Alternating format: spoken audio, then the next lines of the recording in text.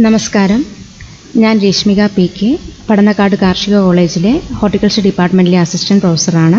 ഇന്ന് നമ്മൾ ഡിസ്കസ് ചെയ്യുന്ന ടോപ്പിക് ഫലവൃക്ഷങ്ങളിലെ പ്രവർത്തന രീതികൾ. ഒരു മിനിറ്റ്. ഞാൻ ഞാൻ ചേഞ്ച് ചെയ്യാം.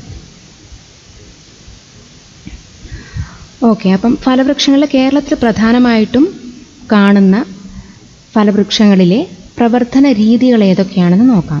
പ്രവർത്തന രീതികൾ എന്ന് ഉദ്ദേശിച്ചത് അതിന്റെ വംശവർദ്ധനവ് രീതി. അതായത് ഇപ്പോൾ ഒരു മാവെടുത്തു അല്ലെങ്കിൽ പ്ലാവാണെങ്കിൽ അതിൽ നിന്ന് എങ്ങനെ നടീൽ വസ്തുക്കൾ ഉൽപ്പാദിപ്പിക്കാം എന്നാണ് ഈ ക്ലാസ്സിൽ പ്രധാനമായിട്ടും നമ്മൾ നോക്കുന്നത്.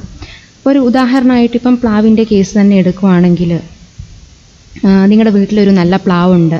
നല്ല ഫ്രൂട്ട്സ് ഉണ്ടാവുന്ന ഒരുപാട് ഈൽഡ് തരുന്ന നല്ല ക്വാളിറ്റി ഫ്രൂട്ട്സുള്ള അതായത് നല്ല മധുരമുള്ള ചുളയൊക്കെ ഉള്ള പ്ലാവുകൾ പ്ലാവുണ്ട്.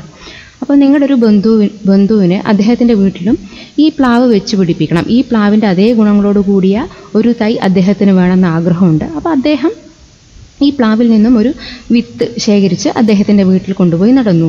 അത് വിത്ത് മുളച്ചു തൈയായി വലിയ മരമായി അതിന് കായ്ഫലം തരാൻ തുടങ്ങി. പക്ഷേ അദ്ദേഹം നോട്ട് ചെയ്തത് നോട്ട് ചെയ്ത കാര്യം എന്ന് പറഞ്ഞാൽ ഈ മാതൃസസ്യത്തിൽ നിന്ന് അതായത് അദ്ദേഹം ഏതിൽ നിന്നാണോ കുരുവെടുത്തത് ആ മാതൃസസ്യത്തിന്റെ ഗുണസവിശേഷതകളൊന്നും തന്നെ അദ്ദേഹം നട്ട് വളർത്തി വലുതാക്കിയ പ്ലാവിലെ ചക്കകൾ പ്രകടിപ്പിച്ചില്ല. അതായത് മാതൃസസ്യത്തിന്റെ ഗുണം ഇവിടെ തൈകൾക്ക് ലഭിക്കാതെ പോയി. അപ്പോൾ നമുക്ക് എങ്ങനെ ആ മാതൃസസ്യത്തിന്റെ ഗുണങ്ങളെല്ലാം തന്നെ തൈകളിലേക്ക് കൊണ്ടുവരാം? അവിടെയാണ് പലതരം കായിക പ്രവർത്തന രീതികളുടെ പ്രാധാന്യം. ഇവിടെ ഇപ്പം പ്ലാവിന് അങ്ങനെ സംഭവിച്ചു എന്ന് പറയുമ്പം വിത്ത് വഴിയാണ് അവിടെ വിത്ത് വിത്ത് എങ്ങനെയാണ് ഉണ്ടാകുന്നത്? ലൈംഗിക പ്രത്യുൽപാദനം വഴി ഉണ്ടാകുന്ന വിത്താണ് അദ്ദേഹം നട്ടത്. അപ്പം പ്ലാവിൽ വിത്ത് ആ പ്ലാവിന്റെ ഗുണങ്ങൾ എല്ലാം തന്നെ ആ വിത്തിൽ ഉണ്ടാവണമെന്നില്ല. കാരണം അതിൽ പരപരാഗണം മറ്റും നടക്കുന്നത് കാരണം. അപ്പോൾ ഈ കായിക പ്രവർത്തന രീതികളുടെ പ്രാധാന്യം ഇത്തരം ഫലവൃക്ഷങ്ങളിൽ എന്താണ് എന്നുള്ളത് വിശദമായിട്ട് നമ്മൾ ഇന്ന് ഡിസ്കസ് ചെയ്യുകയാണ്. ആദ്യമായി സസ്യപ്രവർത്തനം എന്താണ്? അതായത് വിത്തുകളും മറ്റ് സസ്യഭാഗങ്ങളും ഉപയോഗിച്ച് സസ്യങ്ങൾ വളർത്തിയെടുക്കുന്നതിനെയാണ് സസ്യപ്രവർത്തനം എന്ന് പറയുന്നത്. അത് രണ്ട് രീതിയിലുണ്ട് ലൈംഗിക പ്രത്യുൽപാദനം വഴി. അതായത് ഇവിടെ വിത്ത് മുഖേനയുള്ള വംശവർദ്ധനവാണ് നടക്കുന്നത്. അതായത് സെക്ഷൽ റീപ്രൊഡക്ഷൻ രണ്ടാമത്തേത് ഏതാണ് അലൈംഗിക പ്രത്യുൽപാദനം അതായത് കായിക പ്രവർത്തനം. ഇവിടെ വിത്ത് ഉപയോഗിച്ചുള്ള പ്രവർത്തന രീതിയെക്കുറിച്ചല്ല നമ്മൾ സംസാരിക്കുന്നത്. അതായത് ചെടിയുടെ മറ്റു ഭാഗങ്ങളായ വേര് തണ്ട് ഇല മുതലായവയാണ് ഇവിടെ ഉപയോഗിക്കുന്നത്. അതായത് ഇതിനെ വെജിറ്റേറ്റീവ് പ്രൊപ്പഗേഷൻ എന്ന് പറയുന്നു. ലൈംഗിക പ്രത്യുൽപാദന പ്രക്രിയ ഇവിടെ ഇൻവോൾവ്ഡ് അല്ല. ഇതിനെ കായിക പ്രവർത്തന രീതി എന്നാണ് പറയുന്നത്. സസ്യങ്ങളുടെ കോശങ്ങൾ ഉപയോഗിച്ച് പോലും പ്രവർത്തനം നടത്താം. അതായത് കഴിഞ്ഞ ക്ലാസ്സുകളിൽ വാഴയുടെ പ്രവർത്തന രീതി സംസാരിച്ചപ്പം ലീന മാഡം ടിഷ്യൂ കൾച്ചർ സാങ്കേതിക വിദ്യ ഉപയോഗിച്ചിട്ട് എങ്ങനെ വാഴയിൽ വംശ വംശവർദ്ധനവ് നടത്താമെന്ന കാര്യം സംസാരിച്ചിരുന്നു. അപ്പം ഈ ഘട്ടത്തിൽ ഞാനത് വീണ്ടും റിപ്പീറ്റ് ചെയ്യുന്നില്ല.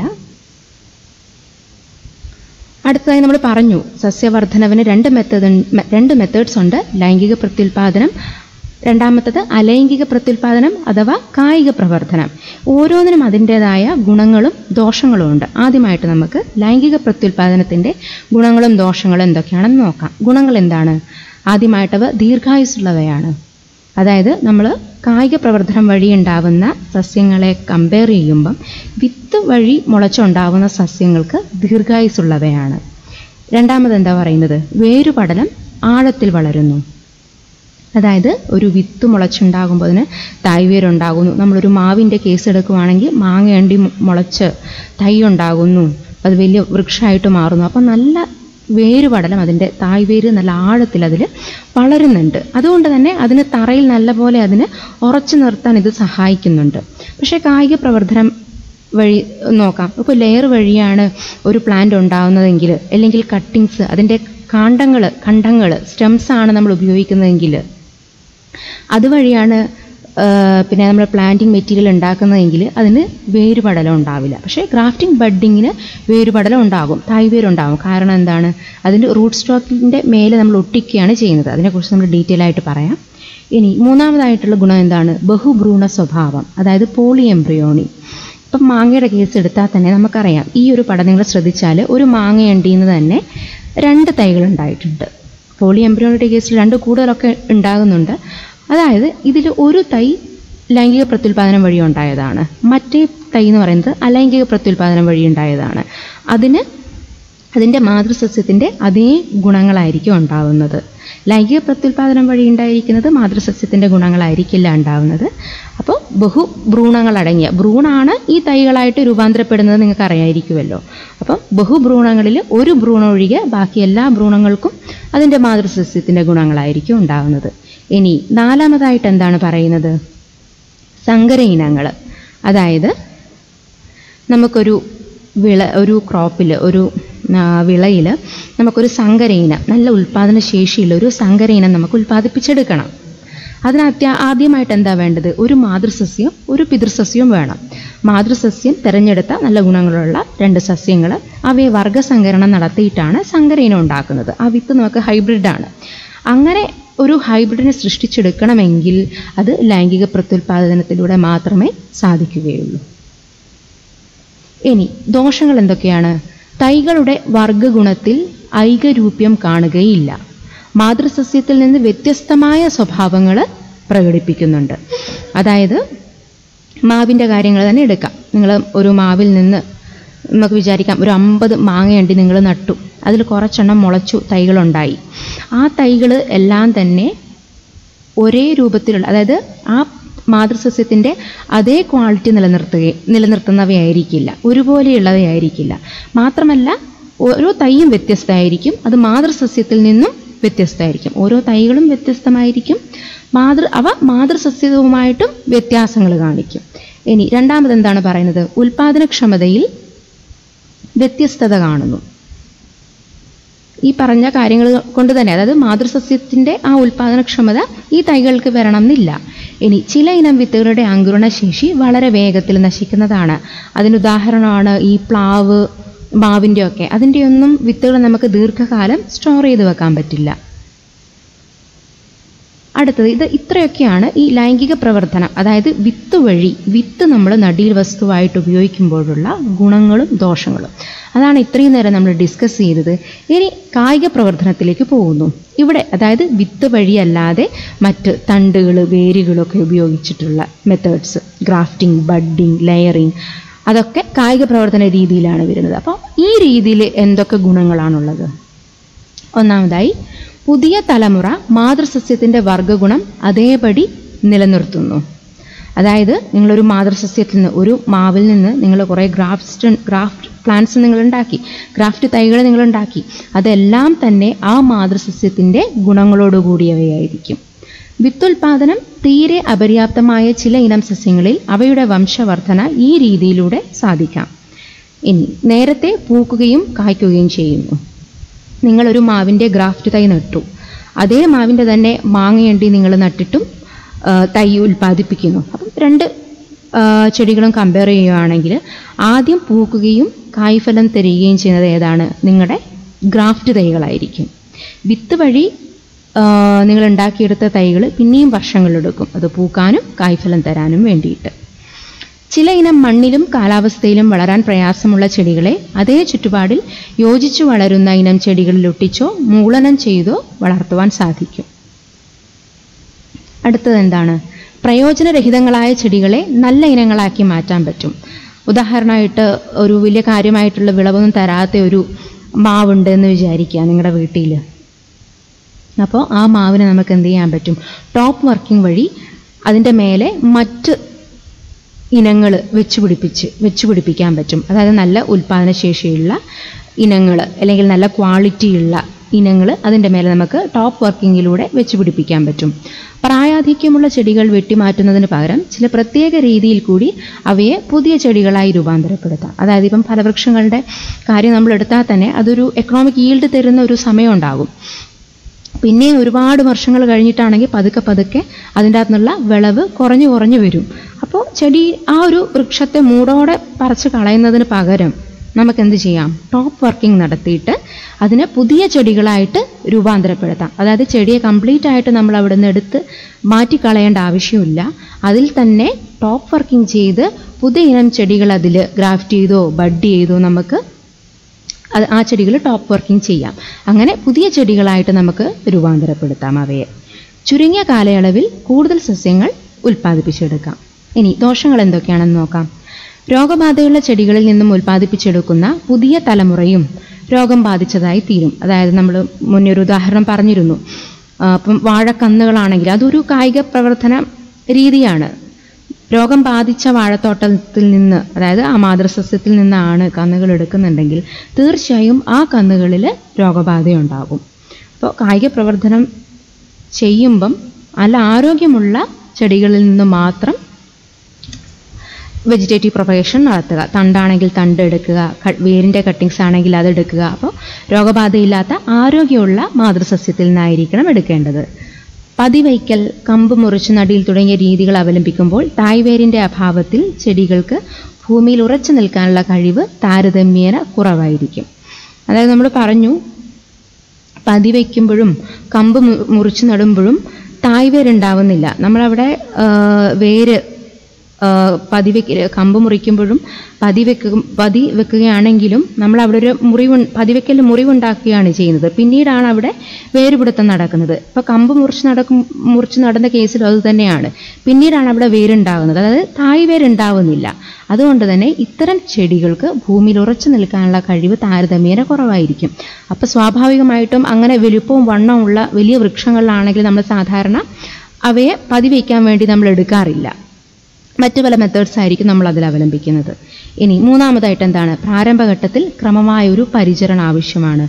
അതായത് കായിക പ്രവർത്തന രീതികൾ നിങ്ങൾ ഗ്രാഫ്റ്റിംഗ് ബഡ്ഡിംഗ് ലെയറിംഗ് ഏതാണെങ്കിലും അതിന്റെ ആരംഭ ദശയിൽ അതിന് ക്രമമായ ഒരു പരിചരണം കൊടുത്തിട്ടുണ്ടെങ്കിൽ മാത്രമേ നമുക്ക് നല്ലൊരു സക്സസ് റേറ്റ് കിട്ടുകയുള്ളൂ. മാത്രമല്ല ഒരു സ്കില്ല് കട്ടിങ്സ് നമുക്ക് എളുപ്പമെന്ന് പറയാം. ബാക്കിയുള്ള മെത്തേഡ്സ് ഒക്കെ ഗ്രാഫ്റ്റിംഗ് ബഡ്ഡിംഗ് ഒക്കെ ചെയ്യണമെങ്കിൽ അത് ഒരു പ്രത്യേക സ്കില്ല് ആവശ്യമാണ്. അത് നമ്മൾ പരിശീലിച്ചിട്ട് മാത്രമേ നമുക്ക് ആ, ഒരു സ്കില്ല് നമുക്ക് കിട്ടുകയുള്ളൂ. അതൊക്കെ തുടർച്ചയായിട്ട് നമ്മൾ ഗ്രാഫ്റ്റിങ്ങും ബഡ്ഡിങ്ങും ചെയ്ത് ശീലിക്കുക. ഇനി നമുക്ക് കായിക പ്രവർത്തന രീതികളിലേക്ക് പോകാം. വ്യത്യസ്ത കായിക പ്രവർത്തന രീതികൾ നമ്മളിന്ന് ഡിസ്കസ് ചെയ്യുന്നത്. അതായത് മുറിച്ചു നടിയിൽ വേര് അല്ലെങ്കിൽ കാണ്ഠം മുറിച്ചു നടിയിൽ. രണ്ടാമതായി പതിവയ്ക്കൽ അല്ലെങ്കിൽ ഇംഗ്ലീഷിൽ ലെയറിംഗ് എന്ന് പറയുന്നു. മൂന്നാമതായി ഒട്ടിക്കൽ അതായത് ഗ്രാഫ്റ്റിംഗ് അവസാനം ഡിസ്കസ് ചെയ്യുന്നത് ബഡ്ഡിംഗ് ആണ് അതായത് മുകുള സംയോജനം. മുറിച്ചു നടിയിൽ എന്താണെന്ന് നോക്കാം. ഇവിടെ വേരുപയോഗിച്ചുള്ള പ്രവർത്തനത്തെക്കുറിച്ചാണ് നമ്മൾ പറയുന്നത്. അതായത് രണ്ട് രീതിയിൽ നമുക്ക് മുറിച്ചു നടിയിൽ നടത്താം. വേരുപയോഗിക്കാം കാണ്ഡം ഉപയോഗിക്കാം. വേരുപയോഗിച്ചെടുത്തിട്ട് നമ്മൾ ചെയ്യുന്നതിനൊരു ഉദാഹരണമാണ് ഇപ്പോൾ ശീമപ്ലാവിൽ ശീമച്ചക്ക എന്നൊക്കെ നമ്മൾ പറയും. കടച്ചക്ക എന്നൊക്കെ പറയുന്നത്. കടപ്പിലാവ് എന്നൊക്കെ പറയുന്ന ഇതിൽ സക്കേഴ്സ് ഉപയോഗിക്കാം. റൂട്ട് സക്കേഴ്സ് ഉപയോഗിക്കുന്നുണ്ട്. ഈ ഇവിടെ നമുക്ക് യെല്ലോ മാർക്ക് ചെയ്ത ഭാഗം കാണാം. ഈ റൂട്ടിന്റെ ഈ വേരിന്റെ കട്ടിങ്സ് എടുത്ത് അത് മുളപ്പിക്കുന്നു. അതാണ് നടിയിൽ വസ്തുവായിട്ട് ശീമപ്ലാവിൽ ഉപയോഗിക്കുന്നത്.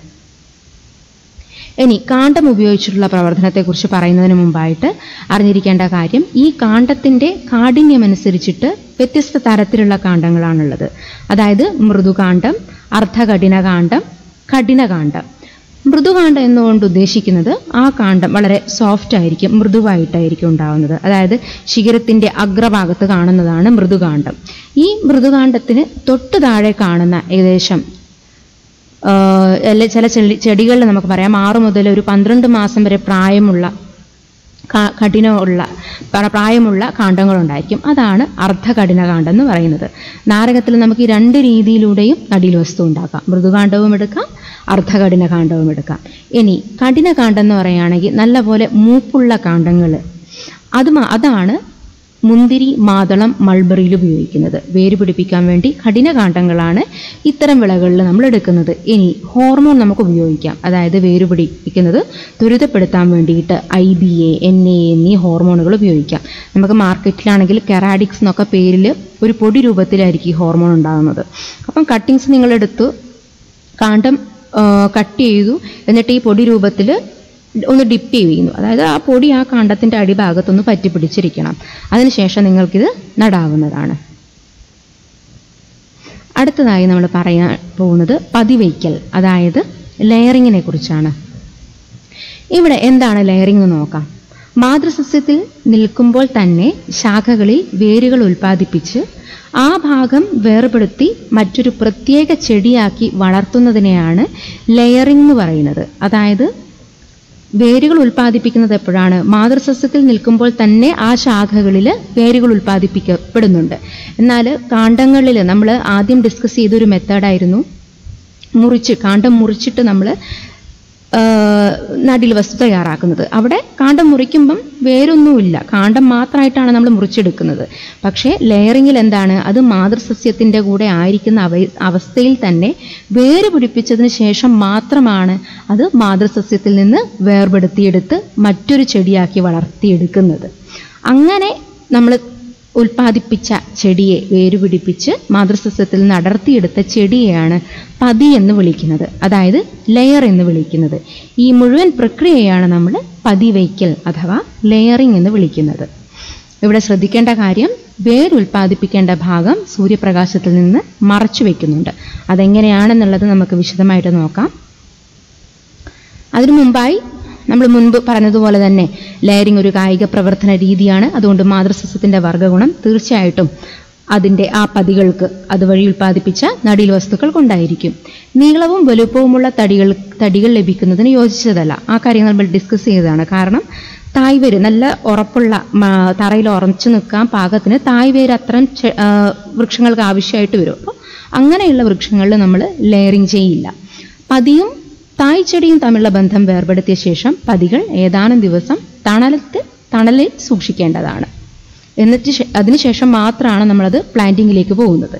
ഇനി ഈ ലെയറിങ്ങിൽ തന്നെ പലതരം രീതികളുണ്ട്. അത് ഏതൊക്കെയാണ് നമുക്ക് നോക്കാം. ആദ്യമായി ആദ്യത്തേത് സിമ്പിൾ ലെയറിങ് അതായത് സാധാരണ പതിവയ്ക്കൽ. രണ്ടാമതായി കോമ്പൗണ്ട് ലെയറിംഗ് മൂന്നാമത്തത് എയർ ലെയറിംഗ് അഥവാ വായുവിലുള്ള പതിവയ്ക്കൽ. ആദ്യത്തെ ഈ രണ്ട് methods simple layering compound layering അതായത് അവിടെ പാർശ്വശാഖ പാർശ്വശാഖകൾ നമ്മൾ മണ്ണിലേക്ക് മണ്ണിനോട് ചേർന്ന് നിൽക്കുന്ന പാർശ്വശാഖകളിലാണ് ഈ ലെയറിംഗ് ചെയ്യുന്നത്. മണ്ണിലേക്ക് മൂടി വെക്ക വെക്കുകയാണ് ഈ രണ്ട് മെത്തേഡിൽ ചെയ്യുന്നത്. മൂന്നാമത്തെ മെത്തേഡിലാട്ടെ ഇത് മണ്ണുമായിട്ട് നമ്മൾ ചെയ്യുന്ന കൊമ്പിന് യാതൊരുവിധ ബന്ധവുമില്ല. വായുവിലാണ് നമ്മളത് ലെയറിങ് കണ്ടക്ട് ചെയ്യുന്നത്. അത് ഡീറ്റെയിൽ ആയിട്ട് നമുക്ക് നോക്കാം. ആദ്യമായിട്ട് സിമ്പിൾ ലെയറിങ് അഥവാ മലയാളത്തിൽ നമുക്ക് പറയാം സാധാരണ പതിവയ്ക്കൽ. ചെറി ചാമ്പ നാരകം തുടങ്ങിയ ഫലവൃക്ഷങ്ങളിലാണ് സാധാരണ പതിവയ്ക്കൽ ചെയ്യുന്നത്. ആദ്യം നമ്മൾ ചെയ്യേണ്ടത് ഈ ഒരു പടത്തിലേക്ക് ശ്രദ്ധിക്കുക. വണ്ണം കുറഞ്ഞ് നീണ്ട കമ്പുകളുള്ള ചെടികൾ തിരഞ്ഞെടുക്കുക. അതായത് തറനിരപ്പിലുള്ള പാർശ്വശാഖകൾ ഈ തറനിരപ്പിനോട് ചേർന്ന് നിൽക്കുന്ന പാർശ്വശാഖകൾ ആ പാർശ്വശാഖകൾ എങ്ങനെയുള്ളതായിരിക്കണം? വണ്ണം കുറഞ്ഞ് നീണ്ട കമ്പുകൾ ഉണ്ടായിരിക്കണം. അങ്ങനെയുള്ള ശാഖകൾ സെലക്ട് ചെയ്യുക. സെലക്ട് ചെയ്യുമ്പോൾ പ്രത്യേകം ശ്രദ്ധിക്കേണ്ടത് എന്താണ്? രോഗബാധയില്ലാത്ത കരുത്തുള്ള ചില്ലകളായിരിക്കണം. കാരണം നമ്മൾ പഠിച്ചു. മാതൃസസ്യത്തിന് രോഗബാധയുണ്ടെങ്കിൽ അത് നമ്മൾ ചെയ്യും നമ്മൾ ഉൽപ്പാദിപ്പിക്കുന്ന പ്ലാന്റിംഗ് മെറ്റീരിയലിലേക്കും ആ രോഗബാധ വരും. അതുകൊണ്ട് തന്നെ നല്ല ആരോഗ്യമുള്ള കരുത്തുള്ള ചില്ലകൾ സെലക്ട് ചെയ്യുക. അതിന്റെ പ്രായം എങ്ങനെയായിരിക്കണം? ഒരു വർഷത്തിൽ താഴെ മാത്രം പ്രായമുള്ള കമ്പുകളിലാണ് ഇത് ചെയ്യേണ്ടത്. അടുത്തതായിട്ട് എന്ത് ചെയ്യണം? അങ്ങനെ നമ്മൾ കമ്പ് സെലക്ട് ചെയ്തു. ഇതാണ് നമ്മൾ സെലക്ട് ചെയ്ത കമ്പ്. ആ ശാഖ വളച്ച് മണ്ണിനടിയിൽ വെച്ച് മണ്ണിട്ട് മൂടുന്നു. അതായത് ഈ ശാഖ വളച്ച് ഇതിനെ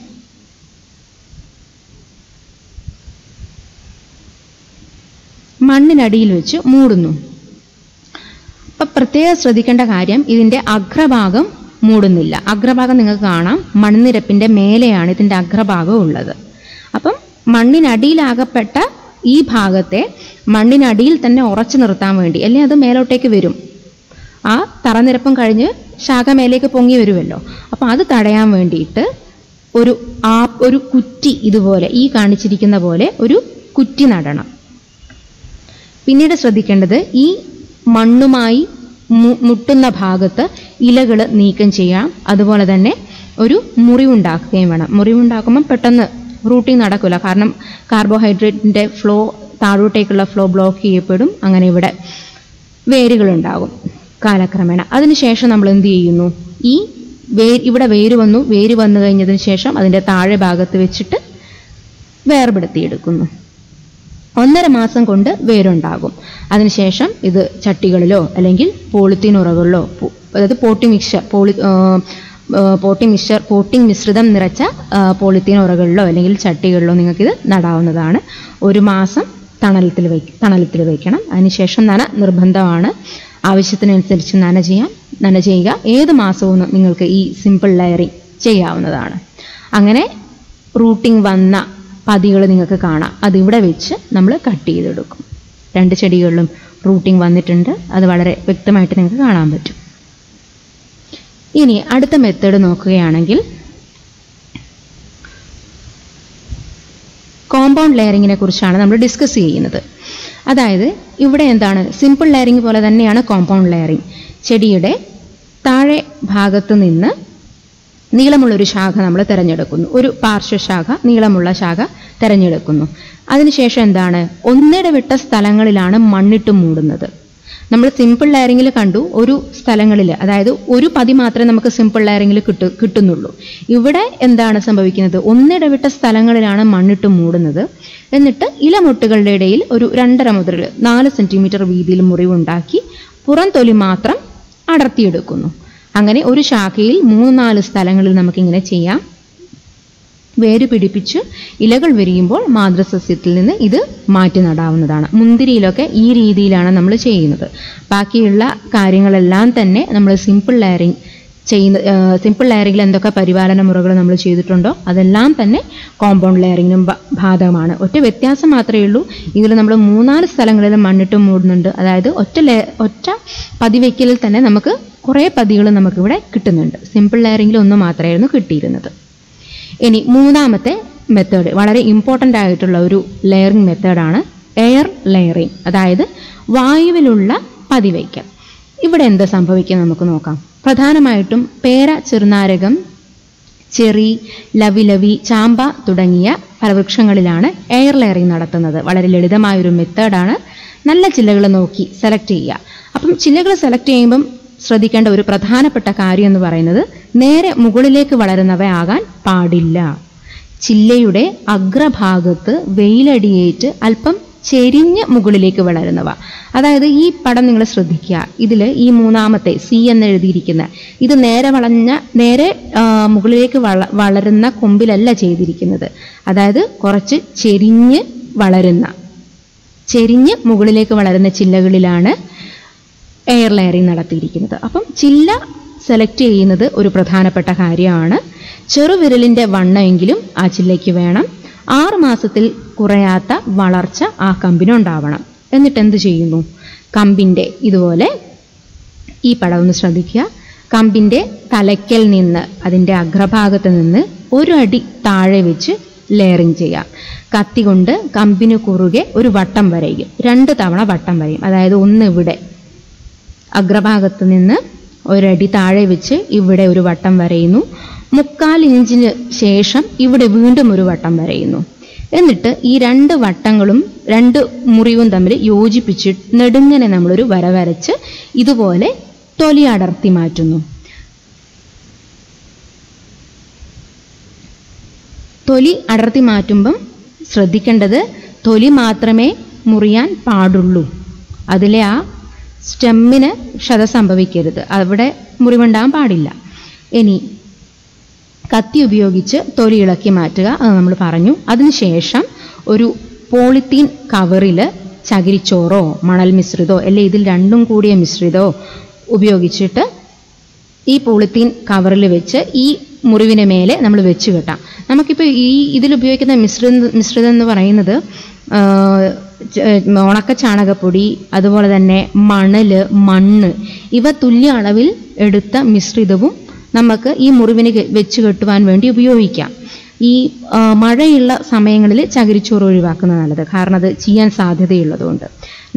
നവംബർ മുതൽ ഫെബ്രുവരി വരെയൊക്കെ നല്ല സമയങ്ങളാണ് ചെയ്യാൻ. മഴക്കാലത്ത് ചെയ്യുമ്പം ഇതുപോലെ ഇതിന്റെ ഉള്ളിലേക്ക് വെള്ളം കടന്നിട്ടുണ്ടെങ്കിൽ അഴുകാനുള്ള സാധ്യതയുണ്ട്. അപ്പോൾ അത് പറഞ്ഞതുപോലെ തന്നെ ചകിരിച്ചോറ് ആ സമയങ്ങളിൽ ഒഴിവാക്കുന്നതായിരിക്കും നല്ലത്. വേനൽക്കാലത്ത് നമുക്ക് ചകിരിച്ചോറ് കൂടെ ആഡ് ചെയ്യുന്നത് നല്ലതായിരിക്കും. ആ ഒരു ചെറിയൊരു ഈർപ്പം നിലനിർത്താൻ വേണ്ടിയിട്ട്.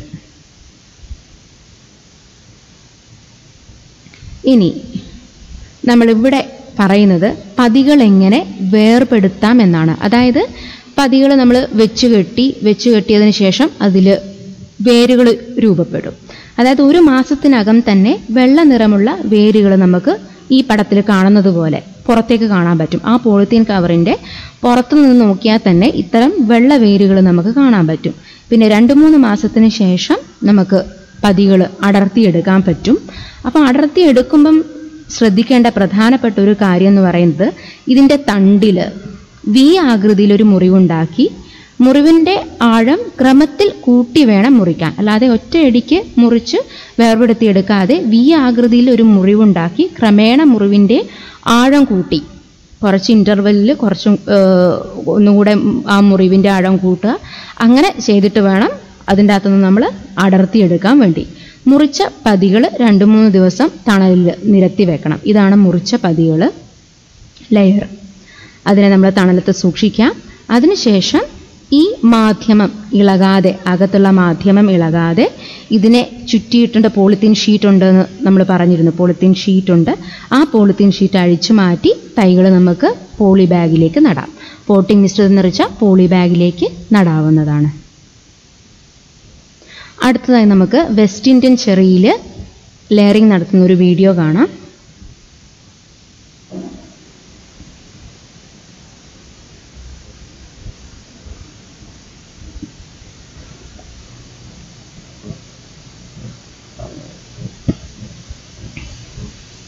വെസ്റ്റ് ഇന്ത്യൻ ചെറിയുടെ അഗ്രഭാഗത്ത് നിന്ന് ഒരടി താഴെ ഒരു വട്ടത്തിൽ മുറിപ്പാടുണ്ടാക്കി. ആ രണ്ട് മുറിപ്പാടുകൾ തമ്മിൽ ഒരു മുക്കാലിഞ്ച് വ്യത്യാസമുണ്ട് നീളത്തിൽ. അതിനുശേഷം കുറുകെ ഒരു ഒരു ഒരു രണ്ട് മുറിപ്പാടും തമ്മിൽ ഒരു വര വരഞ്ഞ് തൊലി നീക്കം ചെയ്യുന്നു. ആ ഭാഗത്തുള്ള ഇലകൾ കളയാൻ പ്രത്യേകം ശ്രദ്ധിക്കണം. അതിനുശേഷം ഒരു പോളിത്തീൻ ഷീറ്റിൽ പോട്ടിംഗ് മിശ്രിതം നിറച്ച പോളിത്തീൻ ഷീറ്റ് മുറിയും തണ്ടിലെ മുറിവുമായി യോജിപ്പിച്ച് ഇതുപോലെ കെട്ടണം.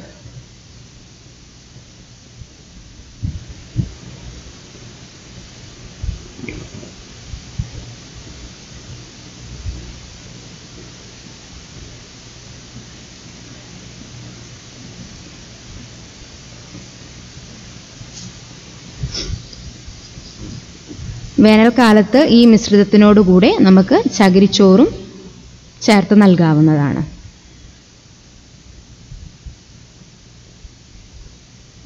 അപ്പോൾ ഒരു മാസത്തിനകം തന്നെ ചെറിയ വേരുകൾ രൂപപ്പെടുന്നത് നിങ്ങൾക്ക് കാണാൻ സാധിക്കും.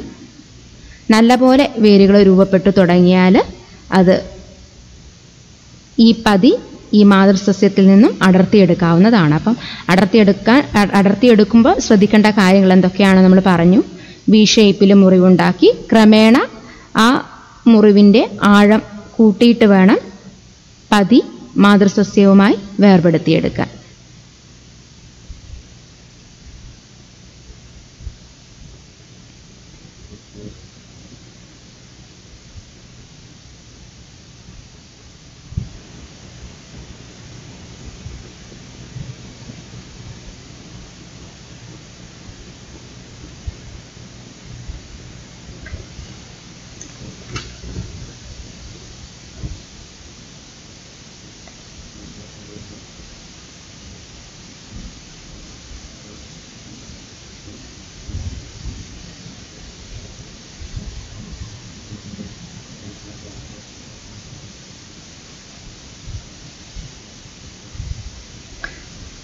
മറ്റൊരു വൃക്ഷത്തിൽ ലെയറിങ് ചെയ്യുന്നതാണ്. അതുപോലെ തന്നെ നമ്മൾ പറഞ്ഞതുപോലെ തന്നെ തൊലി അടർത്തി മാറ്റി പോളിത്തീൻ ഷീറ്റിൽ പോട്ടിംഗ് മിശ്രിതം നിറച്ച് അത് മുറിവുമായിട്ട് ചേർന്ന് കെട്ടിവെക്കുന്നു കുറച്ച് മാസങ്ങൾക്കുള്ളിൽ തന്നെ നമുക്കിതുപോലെ തന്നെ വേരുപിടിച്ച് വേരുപിടുത്തം കാണാൻ പറ്റും. പുറമേ നിന്ന് തന്നെ കാണാൻ പറ്റും. അതിനുശേഷം ഈ പതി നമുക്ക് മാതൃസസ്യത്തിൽ നിന്ന് അടർത്തിയെടുക്കാം.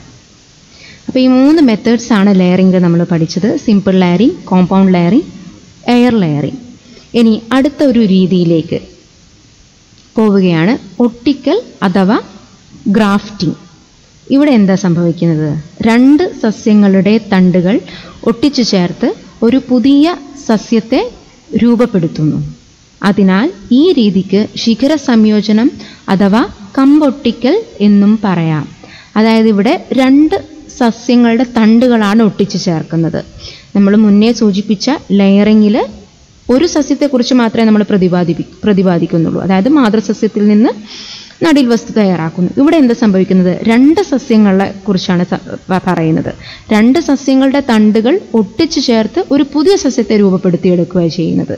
അതായത് അതിന്റെ ശിഖരങ്ങൾ തമ്മിൽ സംയോജിപ്പിക്കുന്നു. കമ്പുകൾ തമ്മിൽ ഒട്ടിക്കുന്നു. അതിനാൽ ഈ രീതിക്ക് ഈ ഗ്രാഫ്റ്റിങ്ങിന് നമ്മൾ പറയുന്നത് ശിഖര സംയോജനം എന്ന് പറയുന്നു അഥവാ കമ്പൊട്ടിക്കൽ എന്നും പറയാം. ഇവിടെ നമ്മൾ മനസ്സിലാക്കേണ്ട രണ്ട് പദങ്ങൾ സയോൺ റൂട്ട് സ്റ്റോക്ക്. സയോൺ എന്ന് പറഞ്ഞാൽ എന്താണ്? അതായത് ഒട്ടുകമ്പ്.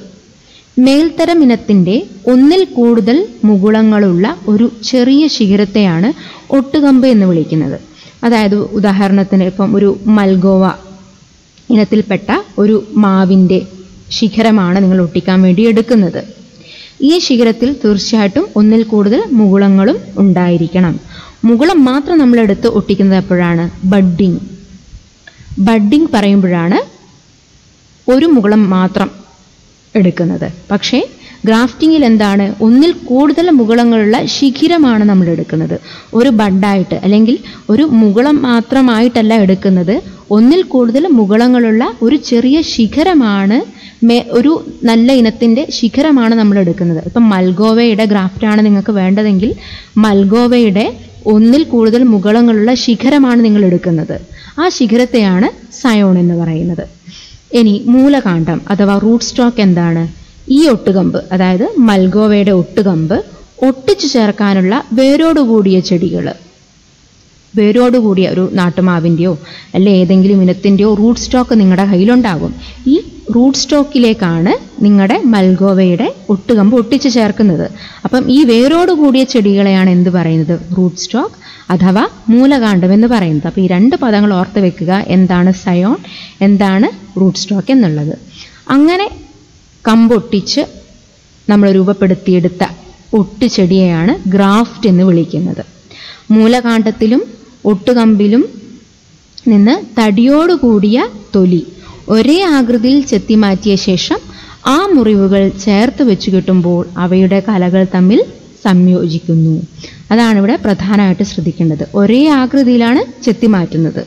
അതിനുശേഷം അത് ഏർ ചേർത്ത് വെക്കുമ്പോൾ ആ മുറിവുകൾ ചേർത്ത് വെക്കുമ്പോൾ അവയുടെ കലകൾ തമ്മിൽ സംയോജിക്കുന്നു.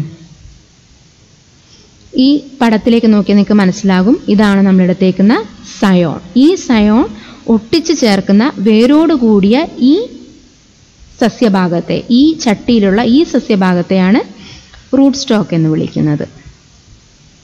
ഒരേ ആകൃതിയുള്ള മുറിവുണ്ടാക്കുന്നു ഈ മുറിവുകൾ തമ്മിൽ ചേർത്ത് വയ്ക്കുന്നു ആ ചേർത്ത് വെച്ചതിന് ശേഷം പോളിത്തീൻ ടേപ്പ് കൊണ്ട് കവർ ചെയ്യുന്നു ചുറ്റി വെക്കുന്നു. അതിനുശേഷം നിങ്ങളുടെ ഗ്രാഫ്റ്റ് റെഡിയായി സക്സസ് ആയി. കാരണം പുതിയ സ്പ്രൗട്ട്സ് വന്നിട്ടുണ്ട്.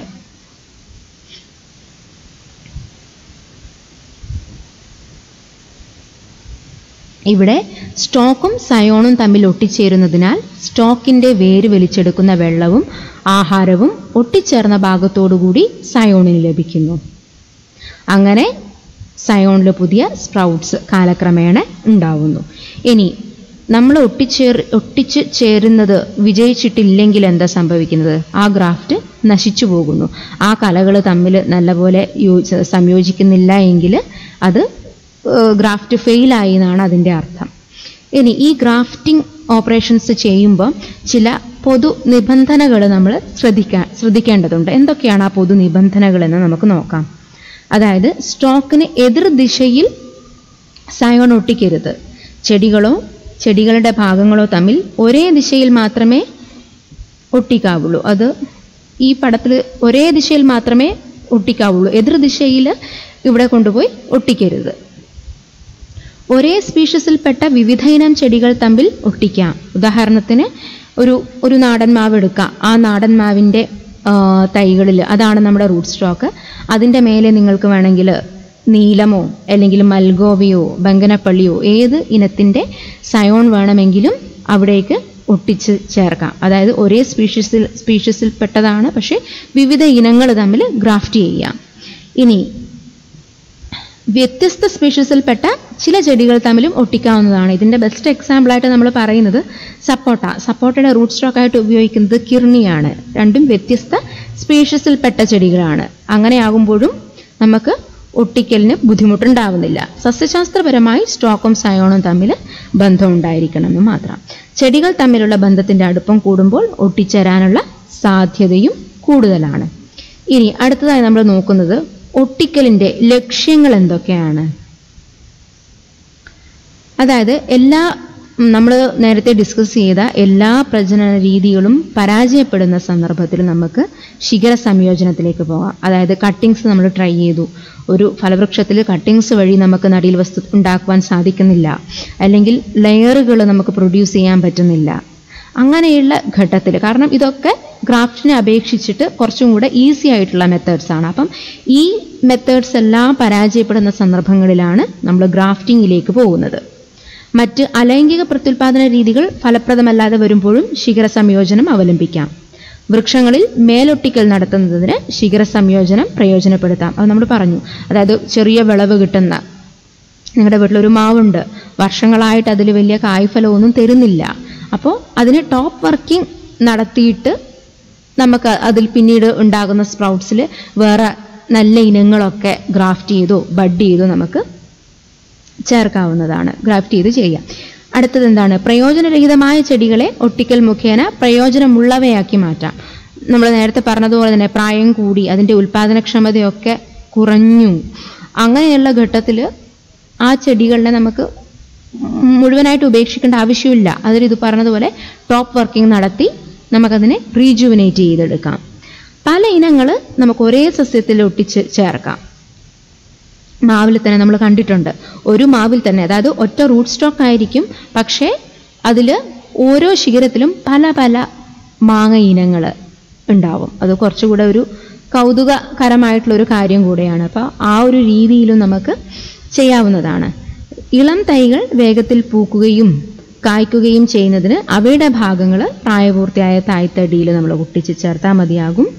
പിന്നെ പറയാനുള്ളത് ചില ചെടികൾക്ക് ചില പ്രത്യേക രൂപവും ഭാവവും ലഭിക്കുന്നതിന് ഈ ഗ്രാഫ്റ്റിംഗ് ഉപയോഗിക്കുന്നുണ്ട്.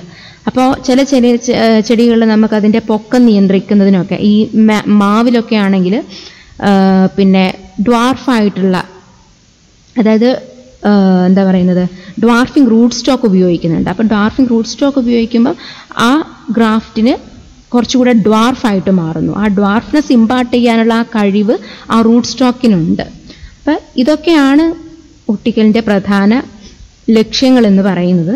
ഇനി ഒട്ടിക്കൽ നടത്തുമ്പോൾ നമ്മൾ ശ്രദ്ധിക്കേണ്ട കാര്യങ്ങൾ എന്തൊക്കെയാണ്?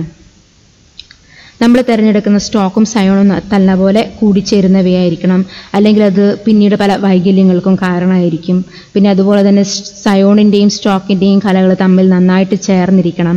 അതിന് നമ്മൾ നേരത്തെ കണ്ടു സ്റ്റോക്കിലും സയോണിലും ഉണ്ടാകുന്ന മുറികളുടെ ആകൃതി അതിന്റെ നീളവും വീതിയെല്ലാം ഒരുപോലെ ആയിരിക്കണം. അതിനെ ബലമായി കൂട്ടിച്ചേർത്ത് കെട്ടുകയും വേണം. പോളിത്തീൻ ടാപ്പ് വെച്ച് കെട്ടുന്ന കാര്യങ്ങളൊക്കെ നമ്മൾ പറഞ്ഞു. പുതുമഴയ്ക്ക് ശേഷമുള്ള വളർച്ചയുടെ ആരംഭഘട്ടത്തിലാണ് സാധാരണയായിട്ട് ഒട്ടിക്കൽ നടത്തുന്നത് ഒട്ടിച്ചതിന് ശേഷം പുറമേ കാണുന്ന മുറിവുകളും മുറിപ്പാടുകളും നല്ലതുപോലെ പൊതിഞ്ഞു കെട്ടുക. ഒട്ടിച്ചതിന് ശേഷം ശരിയായ രീതിയിൽ നമ്മൾ അതിനെ പരിപാലിക്കുക ജലസേചനം നടത്തുക സംരക്ഷിക്കുക. പെസ്റ്റ് ആൻഡ് ഡിസീസസ് വരുന്നുണ്ടോ എന്നൊക്കെ ശ്രദ്ധിക്കുക. ഒട്ടുഭാഗം ഉണങ്ങുകയോ അതിന്റെ അവിടെ വെള്ളം ഉറങ്ങുകയോ ചെയ്യാൻ പാടില്ല. ഇനി നമ്മൾ ഡിസ്കസ് ചെയ്യുന്നത് ഈ ഗ്രാഫ്റ്റിങ്ങിൽ പല മെത്തേഡ്സ് ഉണ്ട്. അതിൽ മാവിൽ നമ്മൾ പ്രധാനമായിട്ടും ചെയ്യുന്ന ഒരു രീതിയാണ് സ്റ്റോൺ ഗ്രാഫ്റ്റിംഗ് എന്ന് പറയുന്നത്. അതായത് മാവിൽ ഗ്രാഫ്റ്റ് തൈകൾ വളരെ ലളിതമായി ഉൽപ്പാദിപ്പിക്കുവാൻ അനുയോജ്യമായ രീതിയാണ് സ്റ്റോൺ ഗ്രാഫ്റ്റിംഗ് അഥവാ എപ്പിക്കോട്ടൈൽ ഗ്രാഫ്റ്റിംഗ് എന്ന് പറയുന്നത്. വളരെ വിജയകരമായിട്ട് നമുക്ക് കുറഞ്ഞ സമയം കൊണ്ട് കൂടുതൽ തൈകൾ ഉണ്ടാക്കാം എന്നുള്ളതാണ് ഇതിന്റെ ഒരു സവിശേഷത. ഒരു ജൂൺ ജൂലൈ മാസങ്ങളാണ് സ്റ്റോൺ ഗ്രാഫ്റ്റിംഗ് നടത്താൻ ഏറ്റവും അനുയോജ്യമായിട്ടുള്ളത്. സ്റ്റോൺ ഗ്രാഫ്റ്റിങ്ങിന് മലയാളത്തിൽ നമ്മൾ പറയുന്നത് ഇളം തൈലൊട്ടിക്കൽ എന്നാണ് പറയുന്നത്. നമ്മൾ നേരത്തെ പറഞ്ഞു സ്റ്റോക്ക് എന്താണ് സയോൺ എന്തൊക്കെയാണെന്ന് പറഞ്ഞു. ഒരു ഒട്ടുതൈയുടെ വേരുഭാഗം ഒരു ഇനത്തിന്റെയും ആ ഇനത്തിനെ നമ്മൾ റൂട്ട് സ്റ്റോക്ക് എന്ന് വിളിക്കുന്നു. അതുപോലെ അതിന്റെ മുകളിലുള്ള ഭാഗം നമ്മൾ ഏതിനമാണോ ഉണ്ടാക്കാൻ ഉദ്ദേശിക്കുന്നത് അതിന്റെ ഭാഗവുമായിരിക്കും. അതിനെ നമ്മൾ സയോൺ എന്നും വിളിക്കുന്നു. അപ്പോൾ ഇവിടെ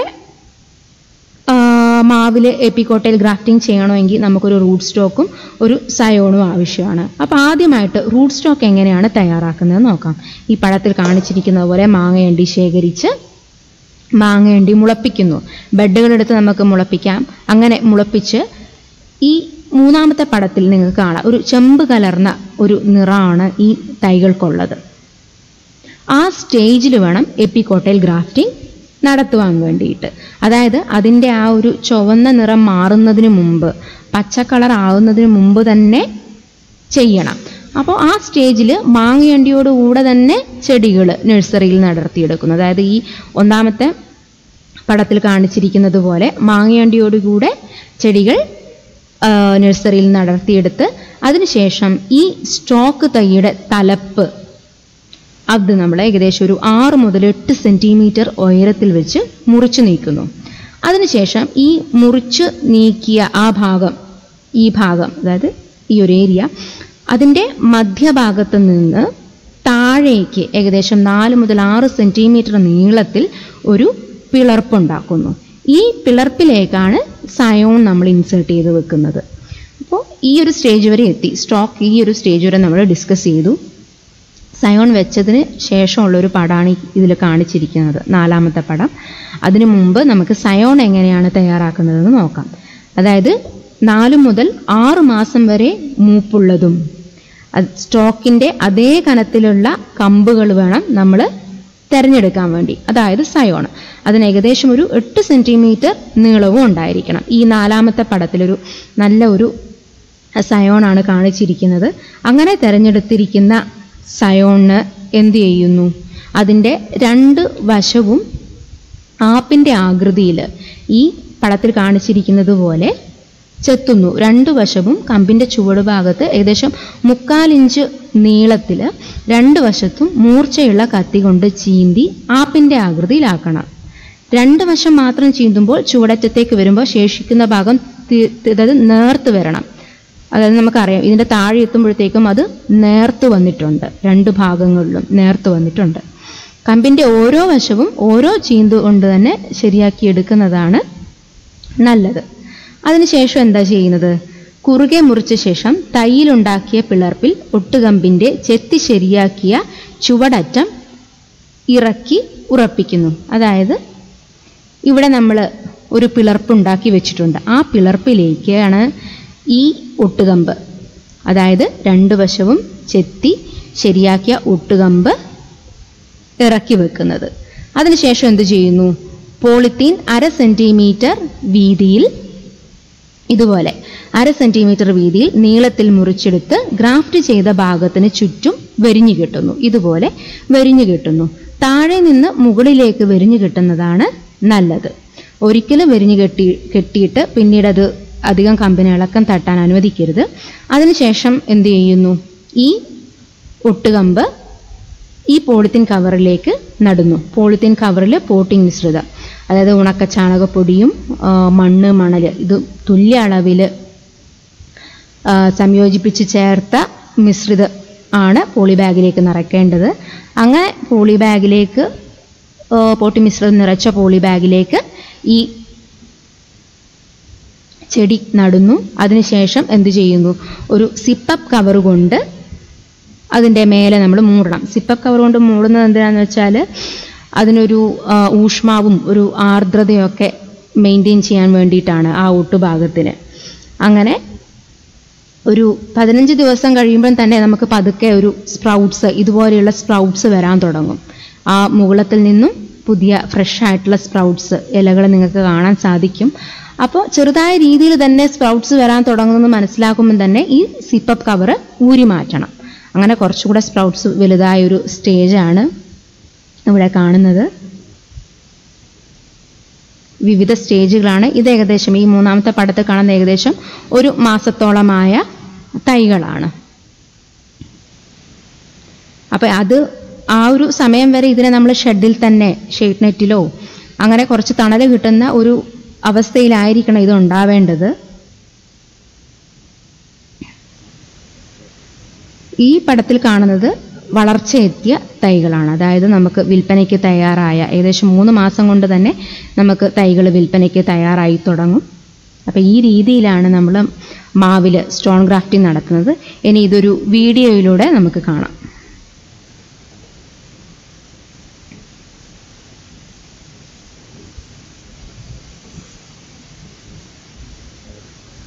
രീതിയിൽ ചെത്തുന്നു.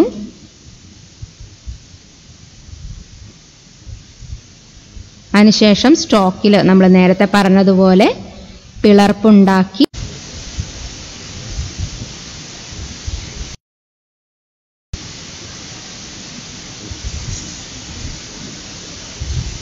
സ്റ്റോക്ക് എടുക്കുന്നു.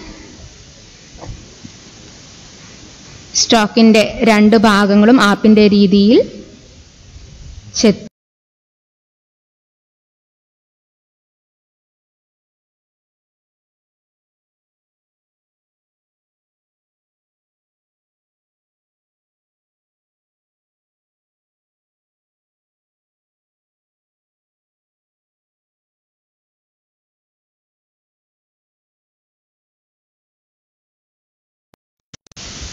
പിളർപ്പിലേക്ക് തയ്യാറാക്കി വെച്ചിരിക്കുന്ന സയോൺ ഇറക്കി വെക്കുന്നു.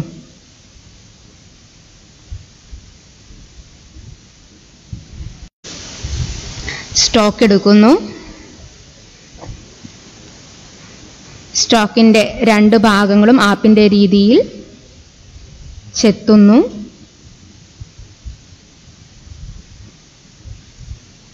അതിനുശേഷം സ്റ്റോക്കിൽ നമ്മൾ നേരത്തെ പറഞ്ഞതുപോലെ പിളർപ്പുണ്ടാക്കി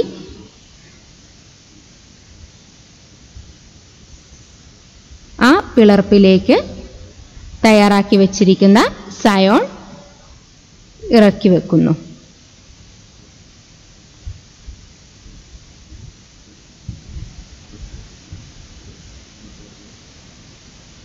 അതിനുശേഷം പോളിത്തീൻ ടാപ്പ് ഉപയോഗിച്ച് താഴെ നിന്ന് മുകളിലേക്ക് വരിഞ്ഞു കിട്ടുന്നു.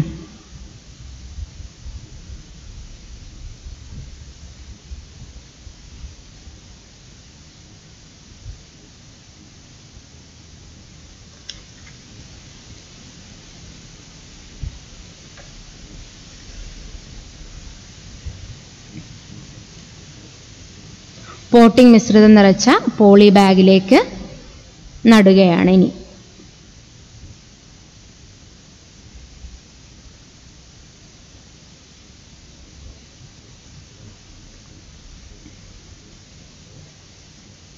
അതിനുശേഷം സിപ്പപ്പ് കവറിട്ട് മൂടുന്നു.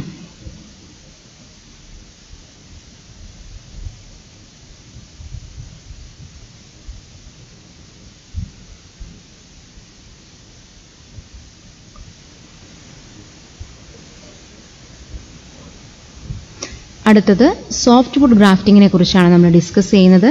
സപ്പോട്ട പ്ലാവ് നെല്ലി മാവ് തുടങ്ങിയ ഫലവൃക്ഷങ്ങളെ നമുക്ക് സോഫ്റ്റ് വുഡ് ഗ്രാഫ്റ്റിംഗ് നടത്താം. ഇവിടെ സയോൺ പച്ച നിറം മാറി തവിട്ട് നിറം ആകുന്നൊരു സ്റ്റേജിലാണ് നമ്മൾ സയോൺ സെലക്ട് ചെയ്യുന്നത്. അല്പം ചെരിഞ്ഞ് ആരോഗ്യത്തോടെ വളരുന്ന കമ്പുകൾ സെലക്ട് ചെയ്യാം.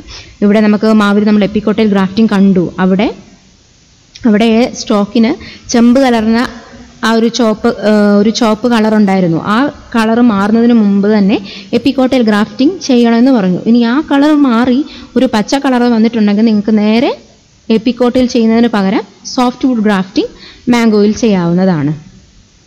ഇവിടെ പെൻസിലിന്റെ വണ്ണത്തിൽ കൂടാൻ പാടില്ല. അതുപോലെ തന്നെ കമ്പിൽ ഇലകൾ വന്ന് മൂപ്പാകുന്ന സമയത്ത് ശിഖരങ്ങൾ സയോൺ എടുക്കാൻ പാടില്ല. ഏകദേശം പതിനഞ്ച് മുതൽ ഇരുപത് സെന്റിമീറ്റർ നീളമുള്ള സയോണാണ് സോഫ്റ്റ് വുഡ് ഗ്രാഫ്റ്റിങ്ങിന് അനുയോജ്യം. അതിനുശേഷം എന്ത് ചെയ്യണം? നമ്മൾ തയ്യാറാക്കി വെച്ചിരിക്കുന്ന പാകമായ റൂട്ട് സ്റ്റോക്ക് തൈയാണിത്. ഒന്ന് എന്ന് എഴുതിയിരിക്കുന്നത്. ഇവിടെ എന്ത് ചെയ്യുന്നു? ഒരു തട്ടിലകൾ മാത്രം നിർത്തി മേലെ തൈവട്ടം മുറിക്കുന്നു സോഫ്റ്റ് വുഡ് ഗ്രാഫ്റ്റിങ്ങിൽ എന്നാൽ എപ്പിക്കോട്ടയിൽ ഗ്രാഫ്റ്റിംഗ് നമ്മൾ കണ്ടു ഇലകൾ അവിടെ നിലനിർത്തുന്നുണ്ടായിരുന്നില്ല.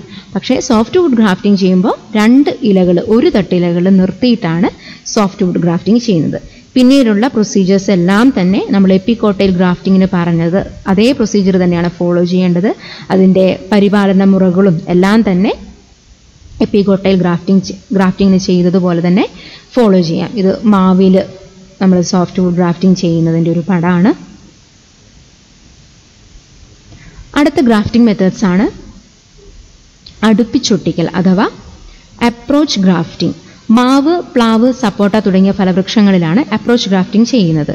ഇവിടെ എന്താണ്? ചെടികളിൽ വളർത്തുന്ന റൂട്ട് സ്റ്റോക്കിനെ സയോണിന്റെ സമീപത്തെത്തിച്ച് ഒട്ടിക്കുകയാണ് ഇവിടെ ചെയ്യുന്നത്. അതായത് സ്റ്റോ അതായത് സയോണിന്റെ അടുത്തേക്ക് റൂട്ട് സ്റ്റോക്കിനെ കൊണ്ടുപോവുക ചെയ്യുന്നത്. നമ്മൾ മുന്നേ സൂചിപ്പിച്ച എപ്പിക്കോട്ടൈൽ ഗ്രാഫ്റ്റിങ്ങിലാണെങ്കിലും സോഫ്റ്റ് വുഡ് ഗ്രാഫ്റ്റിങ്ങിലാണെങ്കിലും മാതൃസസ്യത്തിൽ നിന്ന് സയോൺ അടർത്തി മാറ്റി ഒന്നിൽ കൂടുതൽ മുകുള മുകുളങ്ങളുള്ള ശിഖരം അടർത്തി മാറ്റി മാതൃസസ്യത്തിൽ നിന്ന് അടർത്തി മാറ്റിയിട്ടാണ് സ്റ്റോക്കിലേക്ക് നമ്മൾ ചേർത്തൊട്ടിക്കുന്നത്. എന്നാൽ ഇവിടെ എന്ത് സംഭവിക്കുന്നത്? സയോണിന്റെ അടുത്തേക്ക് റൂട്ട് സ്റ്റോക്കിനെ എത്തിച്ച് അവിടെ വെച്ച് ഒട്ടിക്കലാണ് ചെയ്യുന്നത്. സ്വതന്ത്രമായി വളരുന്ന സസ്യങ്ങളെയാണ് ഇവിടെ ഒട്ടിക്കുന്നത്. സംയോജനം ശരിയായി കഴിഞ്ഞാൽ ഒട്ടിച്ചേർന്ന ഭാഗത്തിന് മുകളിലുള്ള സ്റ്റോക്കിന്റെ തലപ്പും താഴെയുള്ള സയോണിന്റെ ഭാഗവും മുറിച്ചു കളയണം. ഒറ്റ വെട്ടിന് മുറിക്കാതെ കുറേശ്ശെയായി മുറിക്കുക. നമ്മൾ ലെയറിങ്ങിലൊക്കെ പറഞ്ഞതുപോലെ ഒരു വി ഷേപ്പ് കട്ടുണ്ടാക്കി ക്രമേണ മാത്രം ആ മുറിവിന് ആഴം കൂട്ടി അതിൽ നിന്നും ഡിറ്റാച്ച് ചെയ്തെടുക്കുക. സ്റ്റോക്കിന്റെയും സയോണിന്റെയും കാണ്ടങ്ങൾ ഒരേ വലിപ്പമുള്ളവയായിരിക്കണം. അപ്പോൾ ഈ പടത്തിൽ നിങ്ങൾക്ക് കാണാം. ഇവിടെ മാതൃസസ്യത്തിൽ നിന്ന് ഇതാണ് നമ്മുടെ മാതൃസസ്യം. അവിടെയാണ് സയോണ് താഴെ വളരുന്ന കമ്പുകളാണ് സയോണായിട്ട് എടുത്തിരിക്കുന്നത്. അവിടേക്ക് നമ്മൾ റൂട്ട് സ്റ്റോക്കിനെ പോളിത്തീൻ കവറിൽ റൂട്ട് സ്റ്റോക്ക് വളർത്തിയെടുത്തിട്ടുണ്ട്. ആ റൂട്ട് സ്റ്റോക്കിനെ ഈ മാതൃസസ്യത്തിന്റെ അടുത്തേക്ക് അതായത് സയോണിന്റെ അടുത്തേക്ക് എത്തിച്ചിരിക്കുകയാണ് ഇവിടെ. പെൻസിൽ കനമുള്ള സ്റ്റോക്ക് തൈ തിരഞ്ഞെടുക്കുക.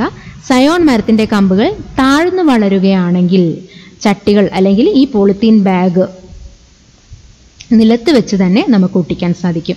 ഈ പടത്തിൽ നിങ്ങൾക്ക് കാണാം. അതായത് മണ്ണോട് ചേർന്ന് വളരുന്ന ശാഖകൾ ഇവിടെയുണ്ട്. അപ്പോൾ നമുക്ക് താഴെ വെച്ചിട്ട് തന്നെ റൂട്ട് സ്റ്റോക്ക് താഴെ വെച്ചിട്ട് തന്നെ ഒട്ടിക്കൽ നടത്താം. പക്ഷേ ഇതിനു പകരം ആലോചിച്ച് നോക്കുക. ഈ മുകളിലുള്ള കമ്പുകളിലാണ് നമുക്ക് ചെയ്യേണ്ടി വന്നിരുന്നെങ്കിൽ ഇതിപ്പം താഴെ ഒരു സയോൺ കമ്പ് ഉള്ളത് കൊണ്ട് പ്രശ്നമില്ല. മുകളിലാണ് സയോൺ കമ്പുകൾ ഉണ്ടെങ്കിൽ നമ്മളിവിടെ ഒരു പ്ലാറ്റ്ഫോം കെട്ടണം. ഒരു തട്ട് കെട്ടി അതിൽ സ്റ്റോക്ക് എടുത്തു വെച്ച് അവിടെയുള്ള ശാഖകളുമായിട്ട് ഒട്ടിക്കേണ്ടി വരും. അപ്പം മാവിൽ ഇതെങ്ങനെ ചെയ്യുന്നത് നോക്കാം. ഈ ഒരു പടം ശ്രദ്ധിക്കുക. ആദ്യം കാണുന്ന പടം. അതൊരു മാതൃസസ്യത്തിന്റെ സയോണാണ്. മാതൃസസ്യം ഇവിടെ കാണിച്ചിട്ടില്ല. പക്ഷേ മാതൃസസ്യം ഉണ്ടെന്ന് വിചാരിക്കുക. ഇനി രണ്ടാമത് കാണിച്ചിരിക്കുന്ന ചട്ടി റൂട്ട് സ്റ്റോക്കിന്റേതാണ്. അപ്പം സ്റ്റോക്ക് തൈയിൽ മണ്ണിര മണ്ണിന്റെ ആ നിരപ്പിൽ നിന്ന് പത്ത് മുതൽ പതിനഞ്ച് സെന്റിമീറ്റർ ഉയരത്തിൽ ആറേഴ് സെന്റിമീറ്റർ നീളത്തിൽ അല്പം തൊലി തടിയോടുകൂടി ചെത്തി മാറ്റുക സയോൺ കമ്പിലും അഗ്രഭാഗത്തു നിന്ന് ഏകദേശം പതിനഞ്ച് മുതൽ ഇരുപത് സെന്റിമീറ്റർ താഴെയായി സ്റ്റോക്ക് തൈയിലുണ്ടാക്കിയ അത്ര തന്നെ നീളവും വീതിയും താഴ്ചയുമുള്ള അതേ ആകൃതിയിലുള്ള മുറിവ് നമ്മുടെ സയോൺ കമ്പിലും ഉണ്ടാക്കിയെടുക്കുക. അതിനുശേഷം ഈ മുറിവുകൾ രണ്ടും കൂടെ ചേർത്ത് നന്നായി ഇതുപോലെ വെരിഞ്ഞു കെട്ടുക. നനയ്ക്കാൻ മറക്കരുത്. ഏതാണ്ട് മൂന്ന് മൂന്നര മാസത്തെ വളർച്ചയാകുമ്പോൾ ഒട്ടുതൈ മാതൃവൃക്ഷത്തിൽ നിന്ന് വേർപെടുത്താം. മാതൃവൃക്ഷത്തിൽ നിന്ന് എങ്ങനെ വേർപെടുത്തിയെടുക്കാം? നമ്മൾ പറഞ്ഞതുപോലെ ഒറ്റത്തവണയായിട്ട് മുറിച്ചെടുക്കാൻ പാടില്ല. രണ്ടോ മൂന്നോ പ്രാവശ്യം കുറേശ്ശെ മുറിവ് കൊടുത്ത് ആ മുറിവിന് പിന്നീട് ആഴം കൂട്ടി വേണം ഒട്ടുതൈ വേർതിരിച്ചെടുക്കാൻ വേണ്ടിയിട്ട്. അപ്പോൾ ഒട്ടിച്ച് രണ്ട് മാസം കഴിയുമ്പോൾ ഒട്ടുസന്ധിക്ക് ചുവട്ടിലായിട്ട് സയോൺ കമ്പിലും അതായത് ഈ ഒരു ഭാഗം സയോൺ കമ്പിലും മുകളിലായി സ്റ്റോക്ക് തൈയിലും. ഇതാണ് സ്റ്റോക്ക് തൈ. സ്റ്റോക്ക് തൈയുടെ ശാഖയാണ് ഇത് സ്റ്റോക്ക് തൈയുടെ ഇവിടെയും മുകളിൽ ഈ ഒട്ടിച്ച ഭാഗത്തിന് മേലെ സ്റ്റോക്ക് തൈയിലും ഒട്ടിച്ച ഭാഗത്തിന് താഴെ സയോണിലും വി ആകൃതിയിൽ മുറിവുണ്ടാക്കണം. ഒരു മാസം കഴിഞ്ഞ് ഈ മുറിവ് കുറച്ചുകൂടെ താഴ്ചയിലാക്കണം. അതായത് ക്രമേണ മുറിച്ചെടുക്കണം. രണ്ടാഴ്ചയും കൂടെ കഴിഞ്ഞ് മുറിവ് ഒരിക്കൽ കൂടെ താഴ്ത്തുമ്പോഴത്തേക്കും നമുക്കിതിനെ വേർപെടുത്തിയെടുക്കാൻ പറ്റും. ഈ അവസാനത്തെ പടത്തിൽ കാണിച്ചിരിക്കുന്നത് പോലെ. മുറിച്ചെടുത്ത ഒട്ടുതൈകൾ തണലത്ത് വയ്ക്കുക നനയ്ക്കുക. ഒട്ടിപ്പ് ശരിയാണെങ്കിൽ ഒരു മാസം കൊണ്ട് തന്നെ പുതിയ തളർപ്പുകൾ വരും. അപ്പോൾ നമുക്ക് തണലിൽ നിന്ന് നീക്കി അതിനെ തുറസായ സ്ഥലത്തേക്ക് മാറ്റി വയ്ക്കാവുന്നതാണ്. ഇത് മാവിൽ അപ്രോച്ച് ഗ്രാഫ്റ്റിംഗ് ചെയ്തതാണ്.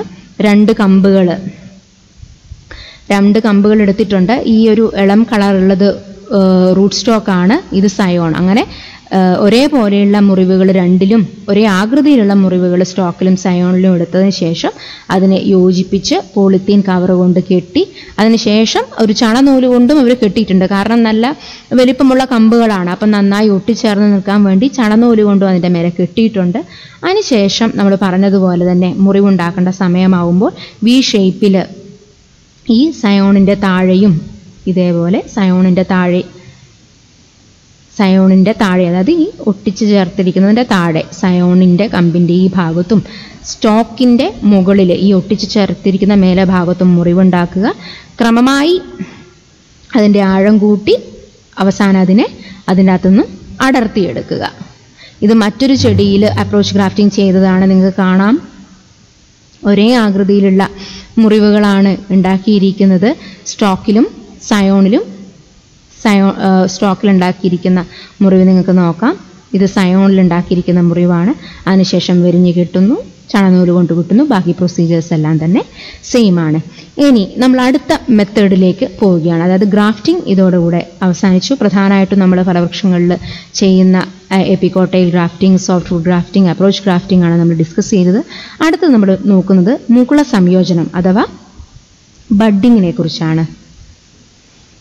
ഇവിടെ എന്താണ് സംഭവിക്കുന്നത്? ഇവിടെ ഒട്ടുകമ്പ് എന്ന് പറയുന്നത് ഒരു മുകുളമാണ്. ഗ്രാഫ്റ്റിംഗിൽ നമ്മൾ കണ്ടു ഒട്ടുകമ്പ് എന്ന് ഉദ്ദേശിക്കുന്നത് എന്താണ്? ഒന്നിൽ കൂടുതൽ മുകുളങ്ങൾ അടങ്ങിയ ശിഖിരമാണ് ഗ്രാഫ്റ്റിംഗിൽ നമ്മൾ ഒട്ടുകമ്പ് എന്ന് പറയുന്നത്. എന്നാൽ മുകുള സംയോജനം അഥവാ ബഡ്ഡിങ്ങിൽ ഒട്ടുകമ്പ് എന്ന് ഉദ്ദേശിക്കുന്നത് ഒരു വെറും ഒരു ഒരു ഒറ്റ മുകുളത്തെ കുറിച്ചാണ് നമ്മളിവിടെ ഒട്ടുകമ്പ് എന്ന് പറയുന്നത്. വേർപെടുത്തിയെടുത്തിയ മുകുളം റൂട്ട് സ്റ്റോക്കിൽ ഒട്ടിക്കുന്നു. അതായത് റൂട്ട് സ്റ്റോക്കിന് മാറ്റമില്ല വേരുള്ള ആ ഭാഗം ചെടിയുടെ ഭാഗം. അതിനെ റൂട്ട് സ്റ്റോക്കിൽ ഒട്ടിക്കുന്നു ഇതുപോലെ ഒട്ടിച്ചു ചേർക്കുന്നു. സ്റ്റോക്കിൽ മുകുളം വളർന്നു വളർന്നു പുതിയ ചെടിയായി രൂപാന്തരപ്പെടുന്നു. അതായത് ഇവിടെ കാണാം. ഒട്ടിക്കൽ വിജയകരമായി. അതിനുശേഷം അവിടെ നിന്ന് പുതിയ സ്പ്രൗട്ട്സ് വന്നു. ശിഖര സംയോജനത്തെക്കാൾ വളരെ ലളിതമായിട്ടുള്ള ഒരു പ്രവർത്തന രീതിയാണ് മുകുള സംയോജനം അഥവാ ബഡ്ഡി. ഇനി നമ്മൾ പാച്ച് ബഡ്ഡിംഗ് ബഡ്ഡിങ്ങിൽ തന്നെ പല വ്യത്യസ്തമായിട്ടുള്ള മെത്തേഡ്സ് ഉണ്ട്. അതിൽ പാച്ച് ബഡ്ഡിംഗ് അഥവാ പാളി മുകുളനം എന്താണെന്ന് നോക്കാം. താരതമ്യേന കട്ടി കൂടിയതും എളുപ്പം പൊളിയുന്നതുമായ തൊലിയുള്ള ഫലവൃക്ഷങ്ങളിൽ പാച്ച് ബഡ്ഡിംഗ് നടത്താം. വളരെ എളുപ്പത്തിൽ ഇത് നമുക്ക് ചെയ്യാൻ പറ്റും. പേര പ്ലാവ് സീതപ്പഴം തുടങ്ങിയ ഫലവൃക്ഷങ്ങളൊക്കെ ചെയ്യുന്നുണ്ട്. വളർച്ച തുടങ്ങാതെ മൊട്ടിച്ചു നിൽക്കുന്ന പ്രായത്തിലുള്ള കണ്ണുകൾ അല്ലെങ്കിൽ മുകുള മുകുളങ്ങൾ വേണം നമ്മൾ സെലക്ട് ചെയ്യാൻ. ഓഗസ്റ്റ് ഡിസംബർ അനുയോജ്യമായിട്ടുള്ള ഒരു കാലമാണ്. ഒരു വർഷത്തിന് താഴെ മാത്രം പ്രായമുള്ള ചെടികളിലാണ് പാച്ച് ബെഡിങ് നടത്തുന്നത്. അതായത് ഒരു ചെറുവിരലിന്റെ വണ്ണമെങ്കിലും നമ്മുടെ റൂട്ട് സ്റ്റോക്കിന് ആവശ്യമായിട്ടുണ്ട്. ഇളം ചെടികളുടെ തൊലി പൊളിയുന്നതിന് ബുദ്ധിമുട്ടുള്ളതുകൊണ്ട് തൊലിക്ക് ഏകദേശം ഒരു തവിട്ട് നിറം വന്നാൽ നമുക്ക് ബഡ്ഡിങ് തുടങ്ങാം. അപ്പോൾ ഇതൊരു പ്ലാവിൽ നമുക്ക് പാച്ച് ബെഡിങ് ചെയ്യുന്നതാണ് വാണിജ്യപരമായി ചെയ്യുമ്പോൾ ഇതുപോലെ തന്നെ വിത്ത് മുളപ്പിച്ച് ആണ് തൈകൾ ഉണ്ടാക്കുന്നത്. റൂട്ട് സ്റ്റോക്ക് തൈകൾ ഉണ്ടാക്കുന്നത്. ഒരു റൂട്ട് സ്റ്റോക്ക് നഴ്സറിയുടെ പടമാണ്. അങ്ങനെ പ്രായമായ ഒരു റൂട്ട് സ്റ്റോക്ക് നമ്മൾ സെലക്ട് ചെയ്തു. പ്ലാവിലെയാണ് പ്ലാവിലാണ് നമ്മൾ കാര്യങ്ങൾ ഡിസ്കസ് ചെയ്യുന്നത്. ഇത് അതിന്റെ സയോണാണ് ഈ സയോണിൽ നിന്നാണ് നമുക്ക് ആവശ്യമായിട്ടുള്ള ബഡുകൾ നമ്മൾ എക്സ്ട്രാക്ട് ചെയ്ത് അടർത്തിയെടുക്കുന്നത് എന്ന് പറഞ്ഞു.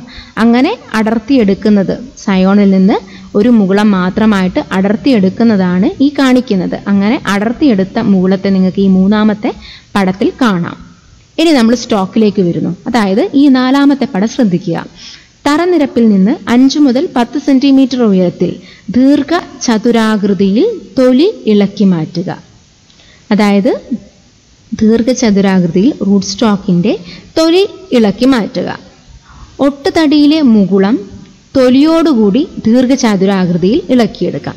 ഇതേ ആകൃതിയിൽ തന്നെ നമ്മൾ ഇളക്കിയെടുത്ത് വെച്ച ഒട്ടുതടിയിൽ നിന്ന് ഇളക്കി എടുത്തു വെച്ച മുകുളം നമ്മുടെ കയ്യിലുണ്ട്. ആ മുകുളം എന്ത് ചെയ്യുന്നു? ഒട്ടുതടിയിൽ നിന്നും ഇളക്കിയെടുത്ത മുകുളം. ഈ നാലാമത്തെ പടം നോക്കുക.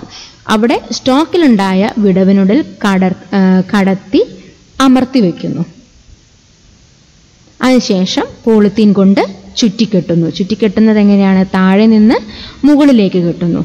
കണ്ണ് മാത്രം മൂടാതിരിക്കാൻ ശ്രദ്ധിക്കണം. അതായത് ആ മുകുളം മൂടരുത്. മുകളം ഒഴികെയുള്ള ഭാഗങ്ങൾ മാത്രം പോളിത്തീൻ കവർ കൊണ്ട് മൂടുക. ഒട്ടിച്ച് ഒരു മാസം കഴിഞ്ഞാൽ കെട്ട് അഴിച്ചു മാറ്റാം.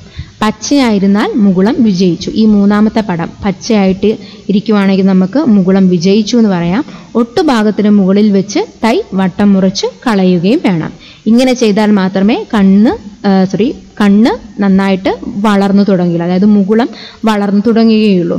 ഇത് ബഡ്ഡിങ്ങിന് ശേഷം ഒരു അറുപത് ദിവസത്തിന് ശേഷം നമ്മൾ ചെയ്ത ബഡ്ഡിങ് വിജയിച്ചു. കാരണം അവിടുത്തെ ആ മുകുളം വളർന്ന് വലുതായത് നിങ്ങൾക്ക് കാണാൻ പറ്റും. ഒരു സ്പ്രൗട്ട് അവിടെ വന്നിട്ടുണ്ട്. പച്ചയായിരിക്കുന്നുണ്ടല്ലേ? അതായത് അത് നശിച്ചു പോയിട്ടില്ല.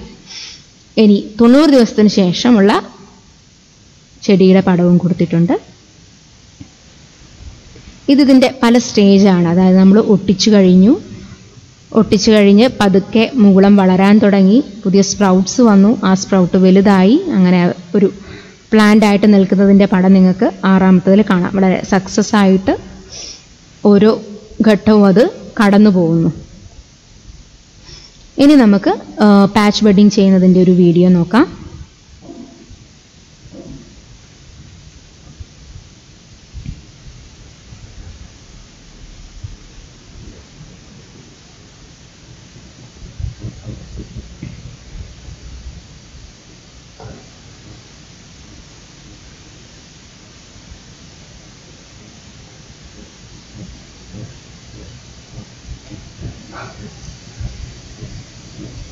സയോണിൽ നിന്നും മുകളം എടുക്കുന്നത് നമുക്ക് കാണാം. ദീർഘചതുരാകൃതിയിൽ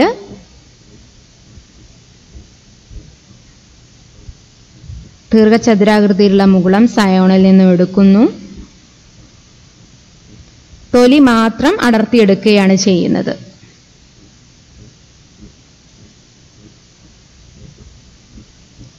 അതിനുശേഷം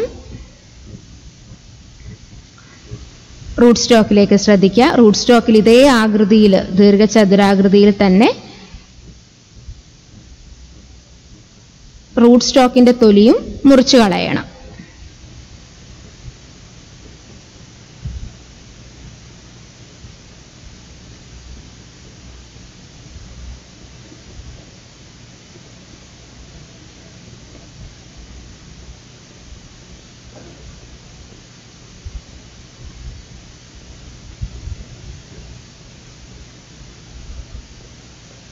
ഇങ്ങനെ മുറിച്ച കളഞ്ഞ ഭാഗത്തേക്ക് മുകളം ഒട്ടിച്ചു വയ്ക്കുന്നു പോളിത്തീൻ ടേപ്പ് എടുത്ത് താഴെ നിന്ന് മുകളിലേക്ക് വെരിഞ്ഞു കെട്ടുന്നു. ആ മുകുളം വെരിഞ്ഞു കെട്ടാൻ പാടില്ല.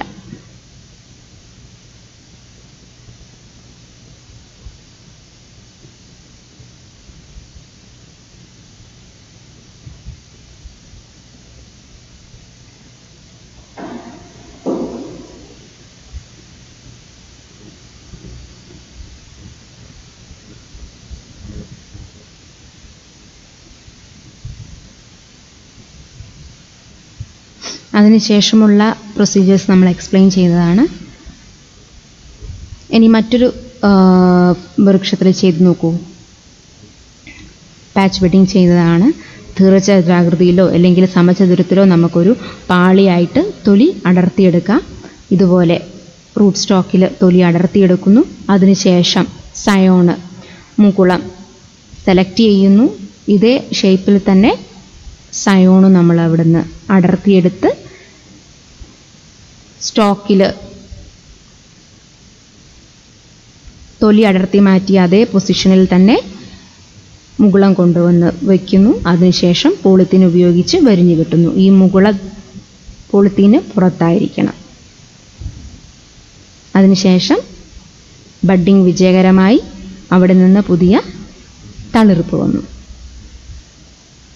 അടുത്തത് നമ്മൾ അവസാനമായി പറയുന്ന ഒരു മെത്തേഡാണ് ടീ മുകുളനം അഥവാ ടീ ബഡ്ഡിംഗ് ഇതിനെ ഷീൽഡ് ബഡ്ഡിംഗ് എന്നും നമ്മൾ പറയുന്നുണ്ട്. പ്രധാനമായിട്ടും മാവ് നാരകം പേര അവകാഡോ മുതലായ ഫലവൃക്ഷങ്ങളിലാണ് ടീ ബഡ്ഡിങ് നടത്തുന്നത്. ഇവിടെ മുളന മുകുളനത്തിന് വേണ്ടി സ്റ്റോക്കിലുണ്ടാക്കുന്ന ഈ ഒരു മുറിവിന് അതായത് ആദ്യം ഇതാണ് സ്റ്റോക്ക്. ഒന്നാമത്തെ പടത്തിൽ കാണിച്ചിരിക്കുന്നതാണ് സ്റ്റോക്ക്. അവിടെ ടി ആകൃതിയിലാണ് നമ്മൾ വരയുന്നത്. താഴെ നീളത്തിൽ താഴേക്കൊരു വര വരയുന്നു. അതിനുശേഷം താഴേക്ക് വരഞ്ഞ താഴെ നമ്മൾ ഉണ്ടാക്കിയ ആ മുറിവിന് ലംബമായിട്ട് ഒരു വര കൂടെ മുറിയുന്നു. അതായത് ഒരു ടി ഷേപ്പിൽ ഒരു വര കൂടെ അവിടെ ഉണ്ടാക്കുന്നു. അങ്ങനെ സ്റ്റോക്കിൽ ഉണ്ടാക്കുന്ന ഈ മുറിവിനെ ഈ ഇംഗ്ലീഷ് അക്ഷരമാലയിലെ ടി എന്ന അക്ഷരത്തിന്റെ ടീയുടെ ആകൃതി ആയതുകൊണ്ടാണ് അതിനെ ടി മുകുളനം എന്ന് വിളിക്കുന്നത്. ഇനി നമ്മൾ ഇവിടുന്ന് ബഡ് എടുക്കുകയാണെങ്കിൽ നോക്കുക. ബഡ് എടുക്കുന്നത് ആ മുകുളത്തിനൊരു ഷീൽഡിന്റെ ആകൃതിയിലാണുള്ളത്. മൂന്നും നാലും ബഡ് എടുക്കുന്ന രീതിയാണ് കാണിച്ചിരിക്കുന്നത്.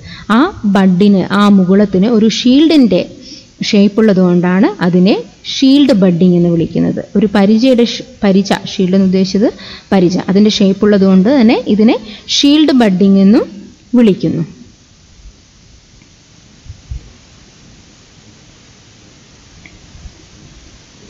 ഈ പടത്തിൽ നമുക്ക് നോക്കിയാൽ മനസ്സിലാകും. സ്റ്റോക്കിന്റെ വണ്ണം ഏകദേശം പോയിന്റ് അഞ്ച് സെന്റിമീറ്ററിനും മൂന്ന് സെന്റിമീറ്ററിനും ഇടയിലായിരിക്കണം.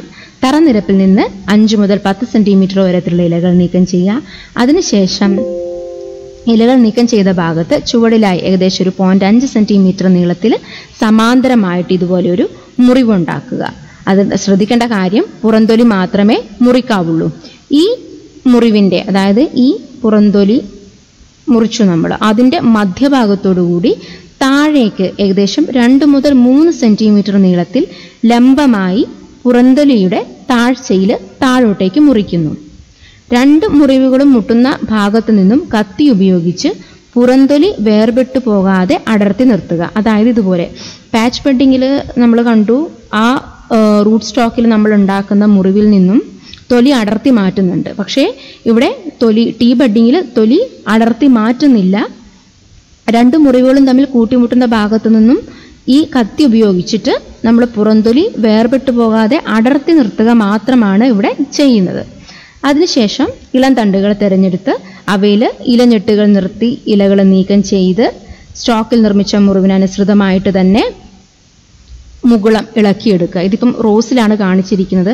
നല്ല രീതിയിൽ റോസിൽ അവർ കാണിച്ചതുകൊണ്ട് ഞാൻ അതുകൊണ്ടാണ് ഞാൻ റോസ് സെലക്ട് ചെയ്തത് അതൊരു ഫലവൃക്ഷമല്ല. പക്ഷെ നല്ല രീതിയിൽ അത് കാണിച്ചിട്ടുണ്ട്. അങ്ങനെ ബഡ് അടർത്തിയെടുക്കുന്നു. മുകുളം ഇളക്കിയെടു മുകുളം ഇളക്കിയെടുത്തിരിക്കുന്നു. അതിനുശേഷം ഈ പടത്തിൽ ശ്രദ്ധിക്കുക. ഇളക്കിയെടുത്ത ഈ മുകുളം എന്താണ് ചെയ്യുന്നത്? സ്റ്റോക്കിലെ വിടർത്തിയ തൊലിക്കുള്ളിൽ കടത്തി മെല്ലെ അമർത്തുന്നു. മുകുളം കഴിയുന്നതും താഴേക്ക് നീക്കി ഉറപ്പിക്കുക. ഒരു ഒന്നര സെന്റിമീറ്റർ വീതിയിൽ മുറിച്ചെടുത്ത ബഡ്ഡിംഗ് ടേപ്പ് ഉപയോഗിച്ച് അതിനുശേഷം ഇത് ചുറ്റിക്കെട്ടണം. ഈ പടത്തിലൊക്കെ നമുക്ക് മനസ്സിലാകുന്നുണ്ട് കൃത്യമായിട്ട് മുകുളം അകത്തേക്ക് പോയിട്ടുണ്ട്. അങ്ങനെ പോളിത്തീൻ ടാപ്പ് കൊണ്ട് വരിഞ്ഞു മുട്ട് വരിഞ്ഞു കെട്ടുന്നു. അതിനുശേഷം ഈ മുകുളം അതിന് പുറത്തായിരിക്കണം. നമ്മൾ പാച്ച് ബഡിങ്ങിലൊക്കെ പറഞ്ഞതുപോലെ തന്നെ ഈ മുകുളം അതിന്റെ പുറത്ത് തന്നെ ആയിരിക്കണം. മുകുളം ഒട്ടിച്ച് കുറച്ച് ദിവസങ്ങൾക്കുള്ളിൽ തന്നെ മുകുളം പരിശോധിക്കുക. അപ്പോൾ ഒരു പച്ചയായി കണ്ടിട്ടുണ്ടെങ്കിൽ ആകെ നമുക്ക് വിജയിച്ചു എന്ന് നമുക്ക് ഉറപ്പിക്കാം. ഇവിടെ ഏകദേശം മുകുളം പുറത്തേക്ക് തള്ളി വന്നിട്ടുണ്ട്. ഇത് വിജയിച്ചു എന്ന് നമുക്ക് ഉറപ്പിക്കാം. പതിനഞ്ച് മുതൽ ഇരുപത് ദിവസ- ദിവസങ്ങൾക്ക് ശേഷം ഒട്ടുഭാഗത്തിന് ഒരു സൂചിപ്പിച്ചിരുന്നു ടോപ്പ് വർക്കിംഗ് എന്നതിനെ കുറിച്ച്. അതായത് ഗുണമേന്മ കുറഞ്ഞ ഇനങ്ങളെ നമുക്ക് ഗുണമേന്മയുള്ള ഇനങ്ങളാക്കി മാറ്റാൻ പറ്റും. പഴയ വൃക്ഷങ്ങളെ ഇതുപോലെ പുനരുജ്ജീവിപ്പിക്കാം. കേടായ ശാഖകളെ നമുക്ക് പൂർവസ്ഥിതിയിലാക്കാം അവിടെ വെട്ടിമാറ്റി അവിടെ ഉണ്ടാകുന്ന പുതിയ സ്പ്രൗട്ട്സിൽ നമുക്ക് ഗ്രാഫ്റ്റിംഗ് നടത്താം അല്ലെങ്കിൽ ബഡ് ചെയ്യാം. മേലൊട്ടികൾ നടത്തേണ്ട മരത്തിന്റെ മൂന്നോ നാലോ വലിയ ശാഖകൾ മാത്രം നിർത്തി ബാക്കിയുള്ളവ മുറിച്ചു കളയുന്നു. അതായത് ഇതുപോലെ. ഇനി ചിലപ്പോൾ ശിഖരങ്ങളെല്ലാം തന്നെ മുറിച്ച് ഒന്നു മുതൽ ഒന്നര മീറ്റർ നീളത്തിൽ തായ്തടി മാത്രം നിർത്തുന്ന പതിവുമുണ്ട്. അപ്പോൾ ഇവിടുന്ന് പിന്നീട് എന്താ സംഭവിക്കുന്നത്? സ്പ്രൗട്ട്സ് വരുന്നു. ആ സ്പ്രൗട്ട്സിൽ നമുക്ക് ഗ്രാഫ്റ്റ് ചെയ്യാം ബഡ് ചെയ്യാം അങ്ങനെ ടോർപ്പ് വർക്കിങ്ങിന് അനന്ത സാധ്യതകളാണുള്ളത്. നമ്മൾ ആദ്യം ഡിസ്കസ് ചെയ്തുകൊണ്ട് വീണ്ടും പറയുന്നില്ല.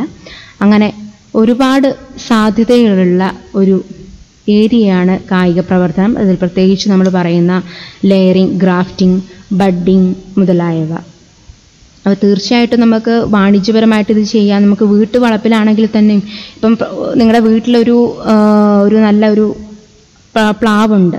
പക്ഷേ റോഡിന് വീതി കൂട്ടുകയാണ്. ആ പ്ലാവ് ഏത് നിമിഷവും പോകാം.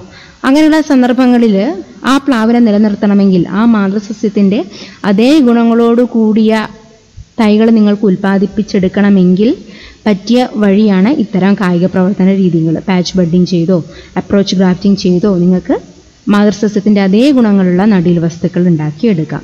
ഒരു പ്രധാനപ്പെട്ട കാര്യം എന്ന് പറയുന്നത് നമുക്കൊരു വീഡിയോ കണ്ടതുകൊണ്ടോ പെട്ടെന്ന് തന്നെ നമുക്കിത് ചെയ്താൽ സക്സസ് റേറ്റ് കിട്ടണമെന്നില്ല. ഞാൻ പറഞ്ഞു നമുക്കത് ഒരു പ്രത്യേക ഒരു സ്കിൽ ആവശ്യമാണ്. അത് ചെയ്ത് ചെയ്ത് ശീലിച്ചാലേ നമുക്കത് സക്സസ് റേറ്റ് കൂടി വരികയുള്ളൂ. അപ്പം നമുക്ക് വാണിജ്യപരമായിട്ടും ചെയ്യാം. അതുപോലെ തന്നെ വീടുകളിൽ ഇത്തരം സന്ദർഭങ്ങളിൽ ഞാൻ മുന്നേ സൂചിപ്പിച്ച നല്ല ഗുണങ്ങളുള്ള മാതൃസസ്യം നമുക്ക് നിലനിർത്തണമെങ്കിൽ നമുക്ക് നമ്മുടെ ഫ്രണ്ട്സ് അല്ലെ ബന്ധുക്കൾക്ക് അതേ ക്വാളിറ്റിയുള്ള പ്ലാന്റിംഗ് മെറ്റീരിയൽ നിങ്ങൾക്ക് കൊടുക്കണമെങ്കിൽ ഇത്തരം കായിക പ്രവർത്തന രീതികൾ അനുവർത്തിക്കാവുന്നതാണ്. അപ്പോൾ ഇത്രയാണ് ഇത്രയും ഡിഫറെന്റ് മെത്തേഡ്സിനെ കുറിച്ച് പറഞ്ഞത്. എല്ലാവർക്കും നന്ദി നമസ്കാരം.